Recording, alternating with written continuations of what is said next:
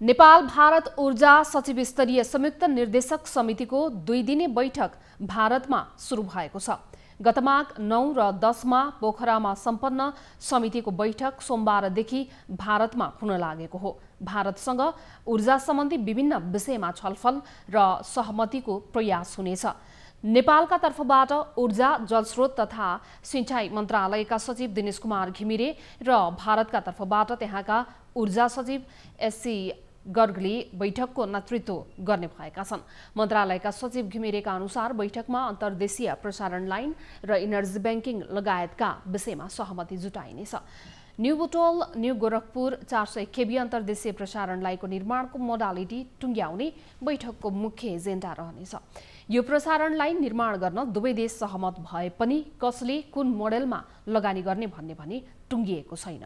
यो विषय नटुङ्गिएसम्म अमेरिकी सहयोगको मिलेनियम च्यालेन्ज अन्तर्गतको चार सय केबी लाइनको काम अघि बढ्न नसक्ने भएकाले नेपालले यो बैठकमा सहमतिका लागि अधिकतम प्रयास गर्नेछ। यस्तै कटैया खुसाहा र रक्सोल परवानीपुर एक सय बत्तीस केबी प्रसारण लाइनलाई डबल सर्किट गर्ने बारे छलफल हुनेछ। नेपाल भारतबीचको प्रसारण लाइनलाई आधुनिक बनाउन हार्मोनाइज तथा सिङ्क्रोनाइज गर्ने बारे पनि बैठकमा छलफल हुने बताइएको छ।